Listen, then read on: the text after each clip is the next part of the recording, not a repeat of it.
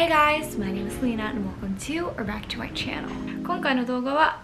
また新しい、えっと、Tea Time with Lena シリーズの動画なんですけどモチベーションを上げる方法とかあと目標を達成する方法まあ私も全然やり方とか正しいやり方とか全然ないと思うけど今日は私流の方法とかあとまあ、コツをご紹介したいと思います。動画に入る前にもしよかったら私の SNS をチェックしてみてください。インスタとツイッターのユーザーネームはエリナ・ツシマです。ELENA-TSUSHIMA はい。それでは早速動画に入っていきましょう。目標を達成する方法 No.1 今持ってるものに感謝することです。小さなことでもいいと思います。今もう本当にあの動画撮影してるためのカメラとかあること今この座ってるソファーがあることに感謝すること。ベッドから出れたことに感謝する綺麗な水が飲める。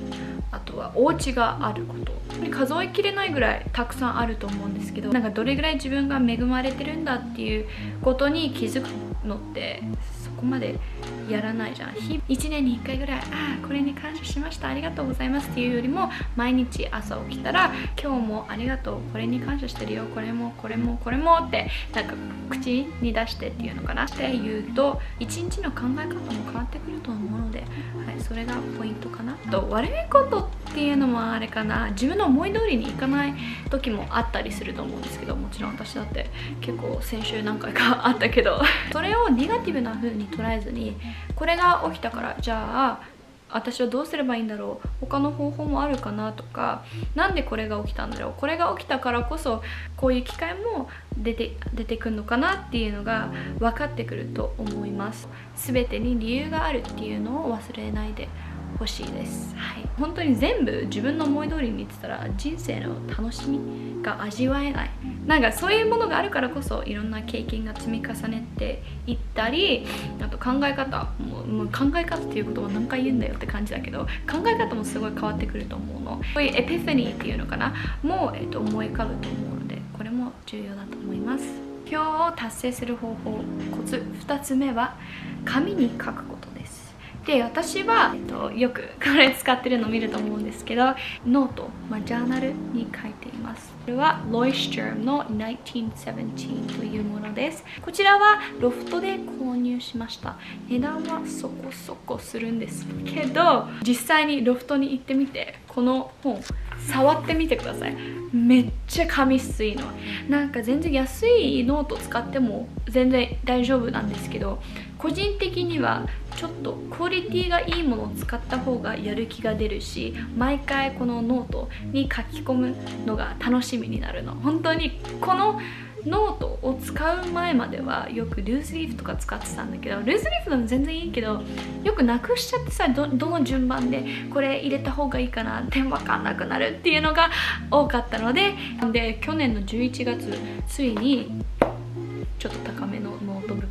ジャーナル？を買いました。11月に買ったでしょ。なのに今もう3分の2ぐらいは使ってる。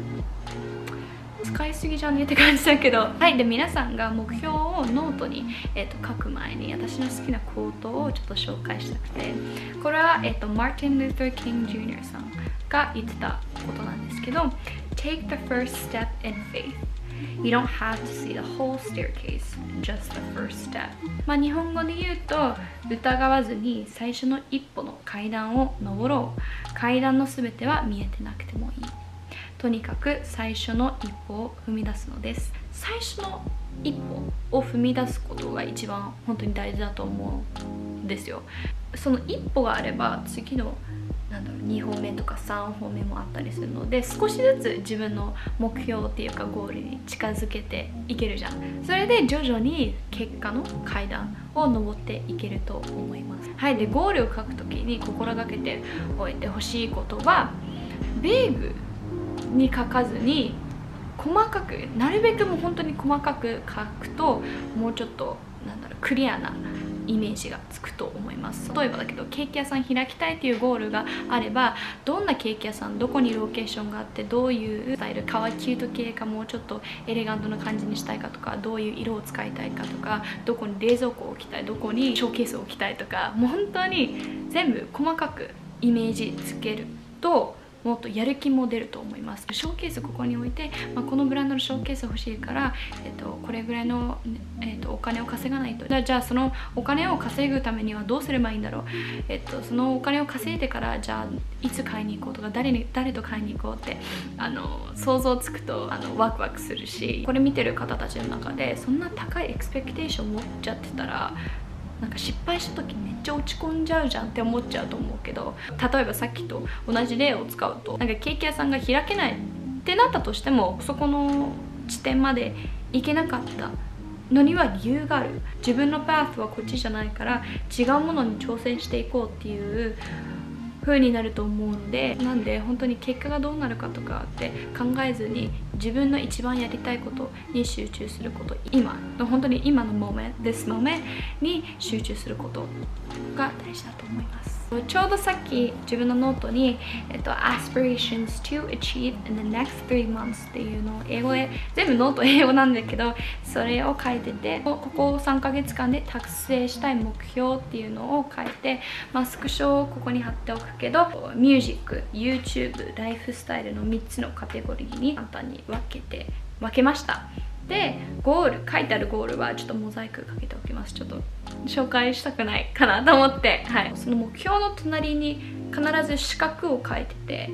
達成できたものにはチェックマークをつけようと思ってます。はい。だからこの3ヶ月間これ全部にチェックマークがつけるといいなと思ってます。はいで3つ目に紹介するアドバイスはビジョンボードを作ることです。えーとそれは今手元にないんですけど自分の部屋にあるので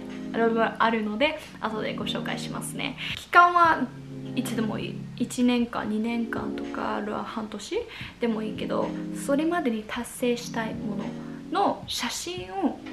紙になんか B4B4B5 まあまあよくちょっと大きめな感じの厚紙に貼る。貼ってポスターとしてなんだろう部屋に飾るっていうのをおすすめします。これはなぜかというとそういう写真とかビジュアライゼーションがあるともっとあのイメージがつきやすい最初の初めにも言ったように細かくなんだろう説明するした方がイメージがつきやすい。でも実際に見えるものがないと自分にできるのかとかあとは想像しにくかったりすると思うの。なんで私は自分でコラージュを作ってはい、ドアのところに貼っています。はいでそのビジョンボードの隣にはリストみたいなのを作っててこれはジャーナルの方に書いてあるチェックリストとこのリストって何が違うのかというとノートに書いてある方のリストは、まあ、長期、まあ、3ヶ月ってそんなに長いかな、まあ、長いか。長期的な目標をノートに書いています。でそのドアに貼ってる方の目標はデイリーゴールスみたいな感じで毎日、えーと、少しずつでもいいから買いたいものを書いています。だからあんまり携帯使わないこととか朝起きたら15分ストレッチするとかまあはいお見せしますね。はいで一番端っこから説明していきますね。こちらの写真はガトリアナ・グレイ。あの発音めっちゃ多分下手くそだと思うけど頑張ってやってみた。カトリアーナさんの写真を貼ってます。この方は2018年のミスユニバースですごいアウタービューティーも最高なんですけどイナービューティーもすごい素敵なんですよね。外見だけ良くても中が良くなかったらうんって感じじゃんでそれを忘れな忘れちゃダメだなと思ってて別に悪いこととかはしてないけどカトリアーナさんって本当にすごいいい人で私がなんだろう個人的に知ってるような感じであの話してる話してて申し訳ないんですけど本当に動画とか、まあ、活動されてるのでその映像とかを見て知ってることなんですけどもう本当にチャリティーワークとかもあのそういうチャリティーイベントとかにもいろいろ参加してて人のためになれるようなものを日々やっていて私も中学生の時はチャリティーワークとかボランティアよくやってたんですけどこれからも人のためになれるようなことをたくさんしていきたいなと思うのでカトリアナさんの写真を貼りました。もう外磨きも本当に大切だけど中も大事なんだよっていうのをリマインダーリマインダーしたかったので、はい、これは Spotify 使ってる方はわかると思うんですけど Spotify の Monthly Listeners というものでアーティストさんのページに行くと1ヶ月にどれぐらいのリスナーさんがいるかっていうのが分かるんですよ。でこれは私の聴いてるアーティスト好きなアーティストさんの、えっと、マンスリーリスナーズ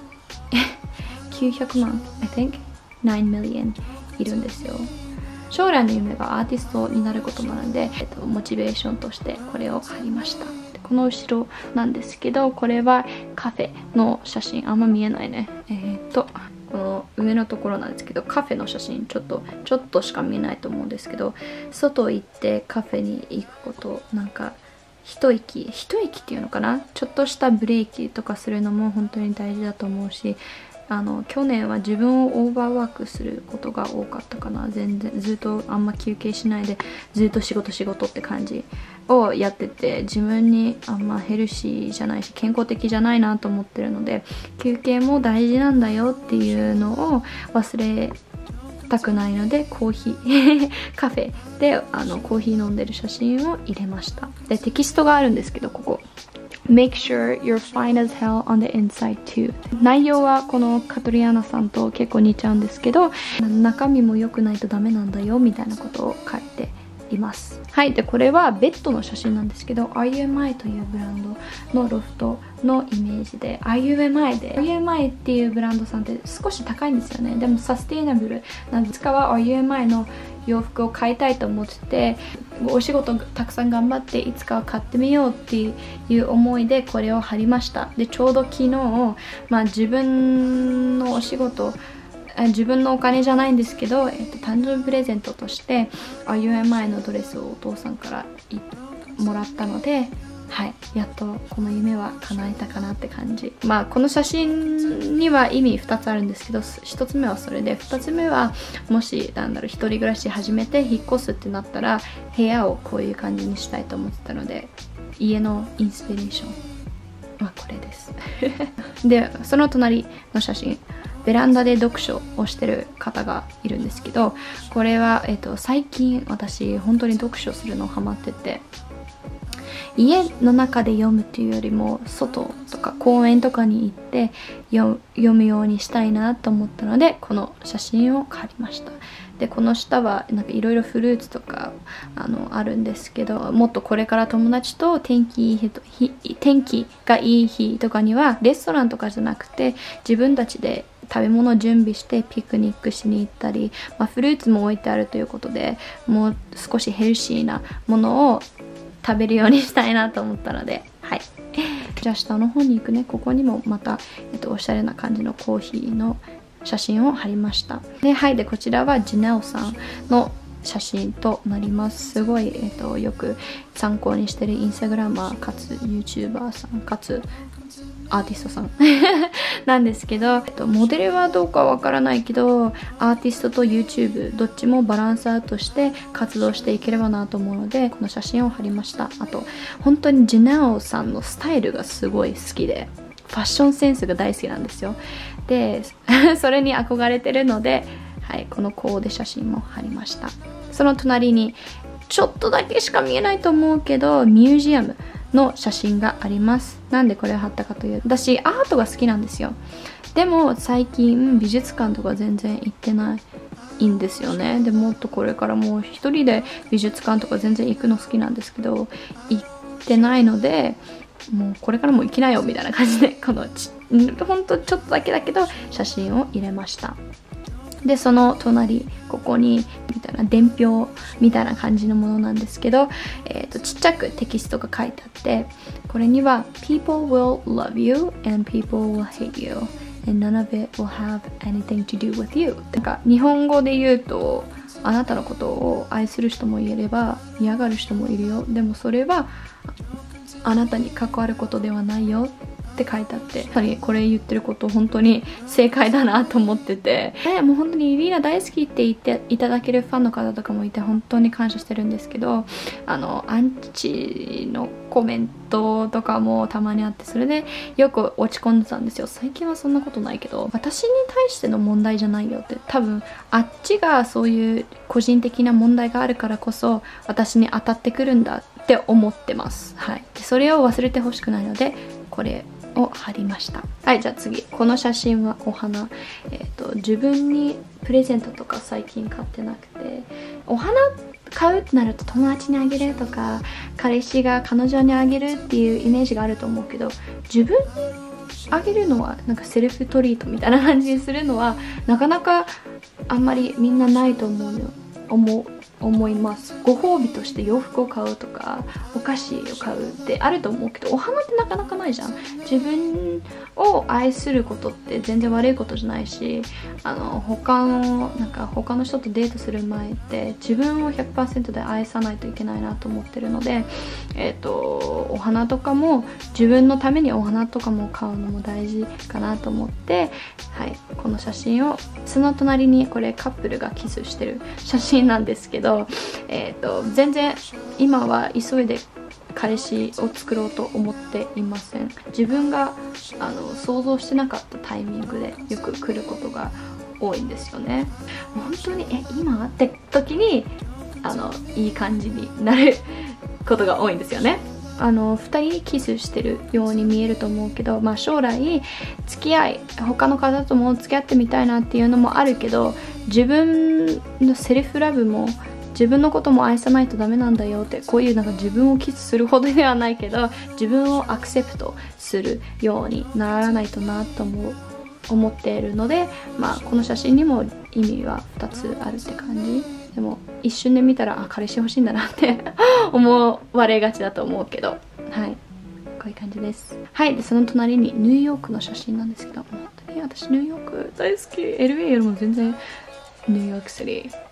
に住みたい。感じです。東京ももちろん好きなんですけどあのちっちゃい時はアメリカに住んでて大人になってからも住んでみたいなと思ってるんですよ。多分経験とかもあの違うと思うので。なんで、はい、ニューヨーク物価とか高いけど住んでみたいなっていうゴールに向かって、はい、頑張ろうと思うので今は。はい。で次。このクォート、まあ、すごい長くなってしまいますが You have worked so hard You have given so much You have made it through countless moments of not feeling good enough And if there are days where you still feel discouraged, remember, you have come so far, and no matter how your low moments have made you feel, they do not define who you are. By Morgan Harper Nicholas. はいで最後にこの2つの写真を説明していきたいと思います。この2つの写真のアーティストさんは下がマディソン・ビアさんで上がローレン・ハウレギさんです。上のローレンの写真はステージでパフォーマンスしてる、えーと、ものになるんですけど将来こういう風にパフォーマンスをしていきたいなと思ってるのでこれを選びました。あとレコーディングとかもしたことないのでこの日を楽しみにしようと思ってはい。この写真も選びました。あはい。であと朝起きてベッドから出てドアを開ける前に自分のビジョンボードをまた見たりリストに書いてあることを口に出して言うようにしています。これで動画終わります。最後まで見てくれてありがとうございます。今回紹介したアドバイスっていうのかな。ためになるかどうかわからないけど本当にたくさんの方から、えーと、このトピックについて話してほしいっていうリクエストがあったのでこれからもたくさん Tea Time with Lena の動画を出そうと思ってるのでお楽しみにあと話してほしいトピックあったら下の方に書いてねはいそれでは I'll see you guys in my next video. Bye!